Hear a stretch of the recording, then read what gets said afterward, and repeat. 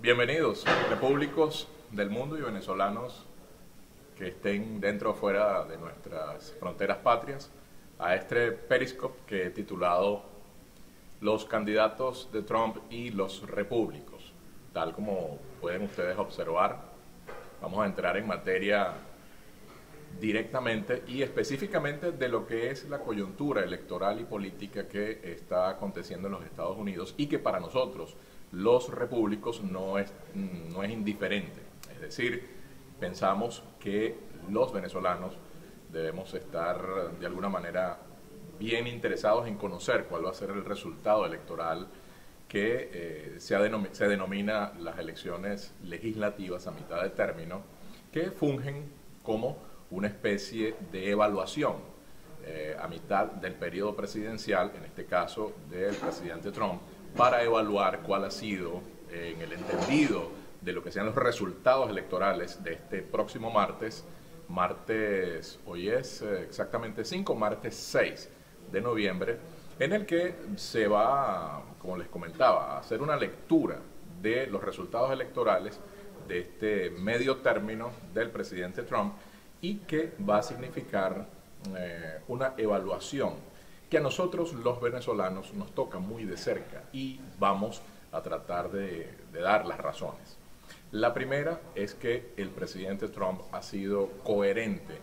dentro de lo que fue su candidatura presidencial, luego su ejecutoria hasta ahora dentro de la presidencia de la República, al menos con el tema de confrontar directamente eh, gobiernos dictatoriales, gobiernos tiranos en lo que es esta parte del mundo que no es otra cosa que nuestra América. Por ejemplo, una posición frontal frente a lo que era la blandenguería que venía mostrando el gobierno de Obama frente a los Castro en Cuba y que mm, el presidente Trump apenas tomando eh, la presidencia de la República lo primero o de las primeras cosas que hizo fue precisamente detener ese proceso de entendimiento en el que prácticamente se le estaba dando la beligerancia que no debería tener un gobierno asesino, tirano como el de Cuba, que no es otra cosa que el ventríloco de lo que han sido los gobiernos de Hugo Chávez y de Nicolás Maduro en Venezuela. Es por eso que la importancia que tiene la posición nuestra de los repúblicos, una posición además eh, diáfana, clara, directa, sin blandenguería, sin medias tintas. Nosotros estamos completamente de acuerdo en que la iniciativa de eh, respaldar las candidaturas del presidente Trump, que hay que hacer la acotación, no automáticamente son todas las candidaturas del Partido Republicano,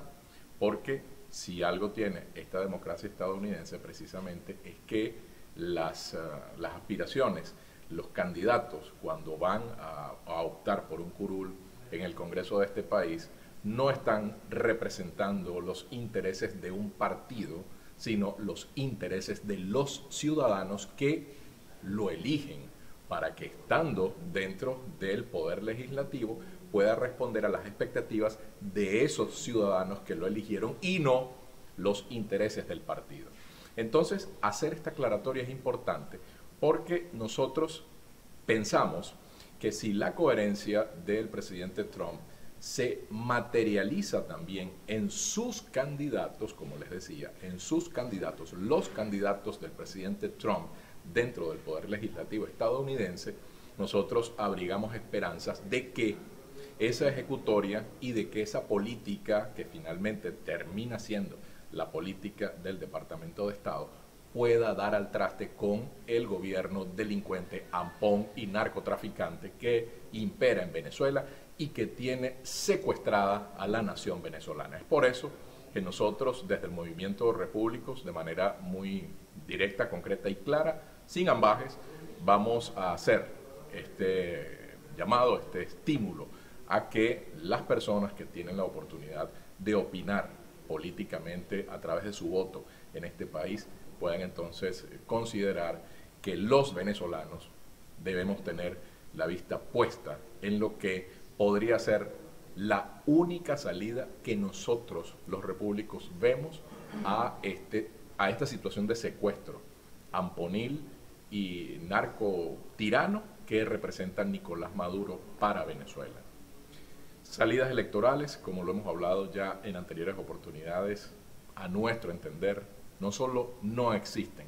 sino que no sería una salida real de la situación, porque si algo necesita Venezuela no es solamente un cambio de gobierno, esto no es un mal gobierno, esto es un gobierno tirano que se apodera, por supuesto, del Estado venezolano y con el monopolio de la violencia, de las armas que tiene el Estado por naturaleza, tiene entonces controlada y secuestrada a la nación venezolana. Solamente una salida militar por vía de presión militar o eventualmente por una intervención militar, materialmente hablando, puede sacar del poder a estos ampones, porque no olviden que cuentan con dos brazos que los sostienen, con dos piernas que los sostienen y dos brazos ejecutores, que son la falsa oposición, otrora MUD y Frente Amplio, y la cúpula militar narcotraficante y podrida que también administra el monopolio de las armas en Venezuela y que tiene a Nicolás Maduro en el poder.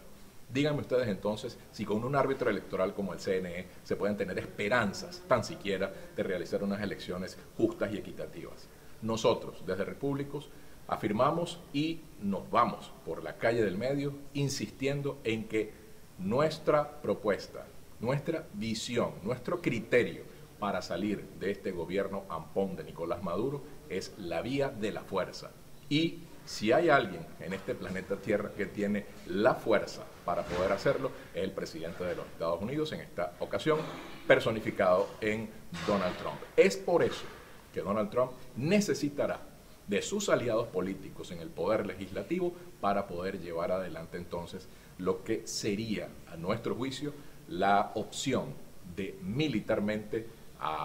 intervenir Venezuela pero no contra la población venezolana, sino militarmente sacar a los ampones del poder, a los ampones rojos del poder que tienen secuestrada a la nación venezolana. Es por eso que queremos entonces, en este brevísimo mensaje de este lunes, dejar la sana inquietud para que, quienes tienen la oportunidad de replicar este mensaje a horas apenas del evento electoral a realizarse mañana 6 de noviembre de 2018 para que entonces eh, tomen en consideración nuestra recomendación, nuestro aplauso, nuestro entusiasmo para procurar que los candidatos del presidente Trump sean beneficiados con el favor popular. Agradecemos mucho su tiempo, su atención. Les invitamos a que repliquen estas piezas audiovisuales y muy pronto, el próximo lunes a la una de la tarde, volveremos sobre el tema. Muchas gracias por su tiempo.